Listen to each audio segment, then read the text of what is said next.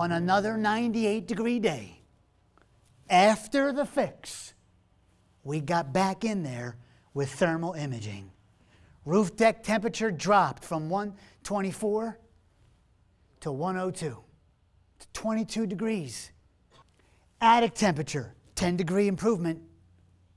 That's significant. Inside, 6 degrees. Kilowatt usage, again, this is Texas. It's worth having the conversation locally. Let's put it in dollars. What are you paying locally? It's going to vary by region. What are you paying per kilowatt hour? What's the occupant of the house doing with electricity? All of those are variables. For this homeowner on this house, $300. 60 days. It's not bad.